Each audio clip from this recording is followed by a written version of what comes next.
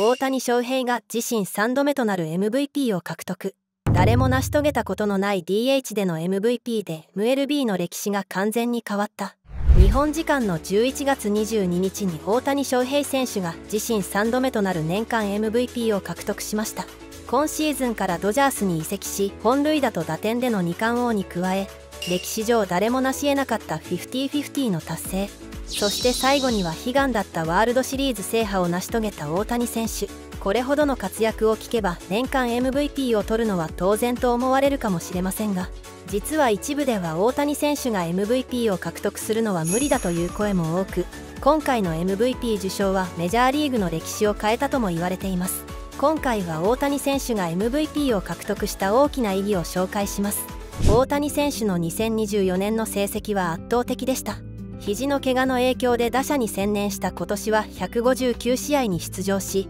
打率は3割1分0厘本塁打54本打点130点盗塁数は59個で本塁打王と打点王の2冠を獲得。打率もリーグ2位と三冠王も視野に入っていたほどの大活躍でした。さらに盗塁は59個でホームランバッターとは思えないほどの走塁技術で観客を沸かせメジャーリーグの長い歴史でも誰も成し遂げられなかった50-50を達成しました。ポストシーズンでも大谷選手の勢いは止まらずワールドシリーズでは肩の脱臼があったものの見事チームの世界一を牽引。誰の目から見ても2024年は大谷翔平の年となりました。オフシーズンに入り続々と各アワードの受賞者が発表されるともちろん大谷選手がたくさんの賞に名を連ねました。各ポジションごとの最高のメンバーであるオール MLB チームを指名打者として受賞。さらに最優秀指名打者賞であるエドガー・マルティネス賞やシルバースラッガー賞も続けて受賞。そして最後の最後に受賞したのが年間 MVP でした。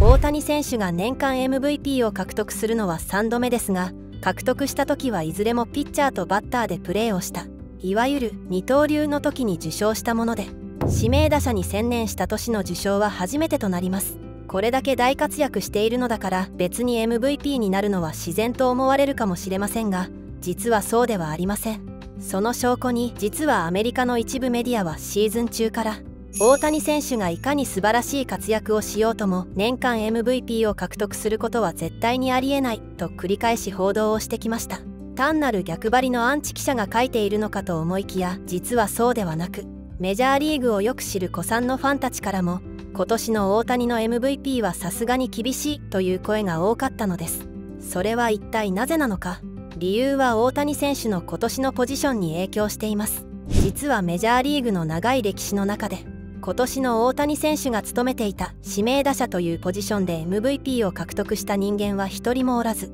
それこそが大谷選手が絶対に MVP は獲得できないと報道され続けた理由なのです。単純に指名打者を務めてきた選手たちが素晴らしい活躍をしていなかったのか。いえ決してそうではありません。いつもこの話題の時に上がるのは元レッドソックスのレジェンドバッターであるデビッド・オルティス氏です。ビッグパピの愛称でファンに大人気だったオルティス氏は3度のワールドシリーズ優勝に貢献したレッドソックス時代の2003年から2007年の間に5年連続で MVP 投票の上位5位に入り54本塁打137打点で2冠に輝いた2006年には3位となりましたが最後まで MVP 獲得には至りませんでした。この年の MVP はオルティス氏ではなくツインズのジャスティン・モルノー氏が受賞。一塁手だった彼の成績は34本塁打130打点打率3割2分1厘で成績だけ見れば完全にオルティス氏がモルノー氏を圧倒していましたが残念ながらオルティス氏は MVP には選ばれずその理由はオルティス氏が指名打者というポジションで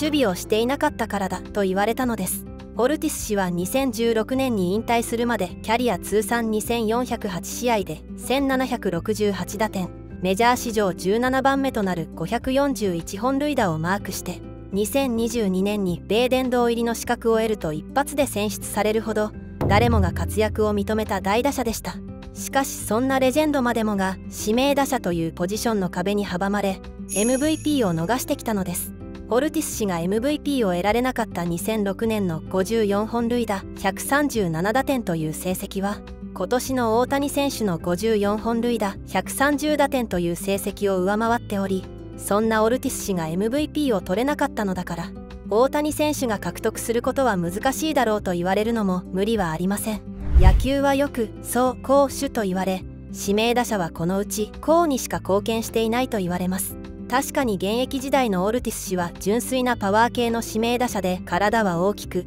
基本的に攻撃のみに特化したスタイルで守備や走塁でのチーム貢献はしていませんでした。しかし大谷選手が大きく違うのは走塁による貢献度です。大谷選手の盗塁数は59個でリーグ2位の数を誇っています。また大谷選手はシーズン途中から1番バッターに定着しホームランで自ら打点を稼ぐこともあればヒットを打った後に盗塁で得点圏まで自分を運びベッツやフリーマンら後続のバッターたちが点を取りやすい環境を作っていました。確かに指名打者として一切の守備はしていませんがそう攻守の貢献度という観点だとむしろオルティス氏よりも素晴らしい活躍を見せていたのです。今回の大谷選手の MVP 獲得を喜んでいるある MLB のレジェンドがいます。それは元レッドソックス投手ペドロ・マルティネス氏です。マルティネス氏は先ほど紹介したオルティス氏の元チームメイトでオルティス氏と共にレッドソックスの3度のワールドシリーズ制覇を牽引した人物でもあります。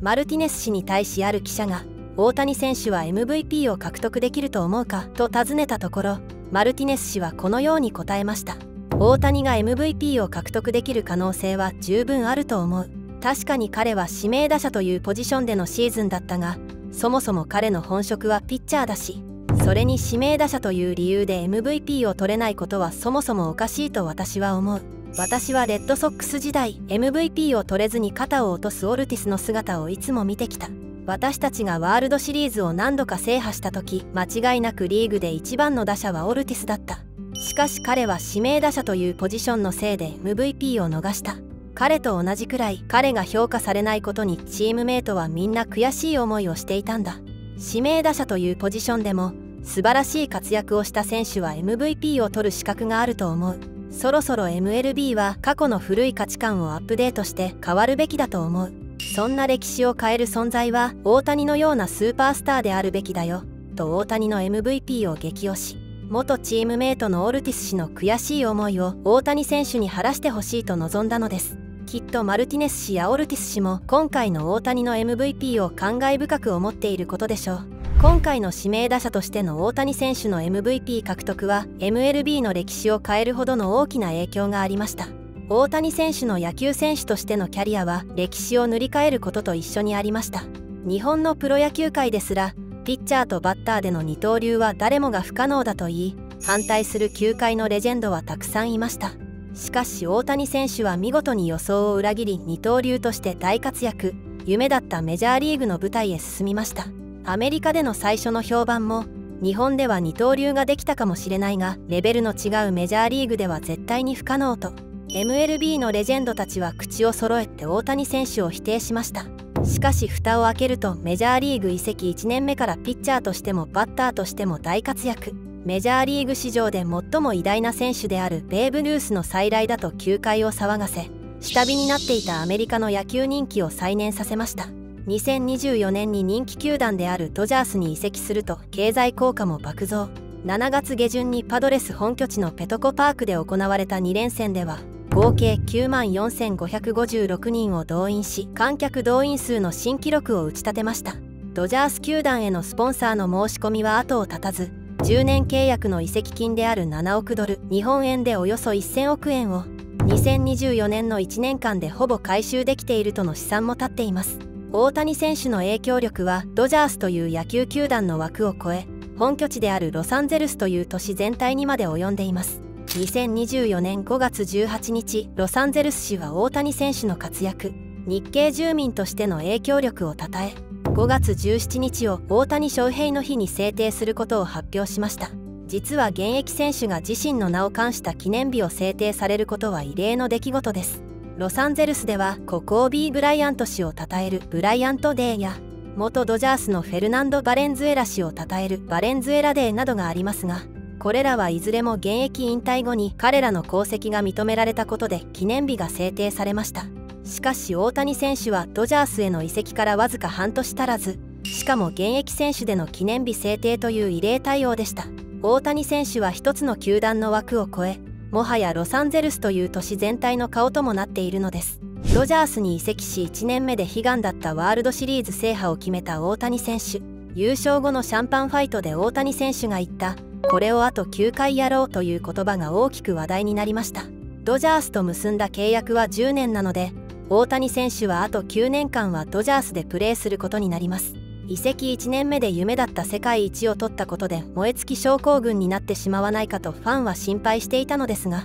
そんな心配を払拭するようにあと9回世界一になろうと発言しファンは歓喜しました。手術した肘のリハビリも順調で来シーズンはついにピッチャーとしてドジャースタジアムに立つ大谷選手。二刀流として復活した大谷選手は次は一体どんな伝説を残してくれるのか。どんな形でメジャーリーグの歴史を変えてくれるのか。楽しみで仕方ありません。今回は大谷選手が MVP を獲得した大きな意義を紹介しました。是非動画の感想はコメントで教えてください。次の動画が気になる方は高評価とチャンネル登録をお願いします。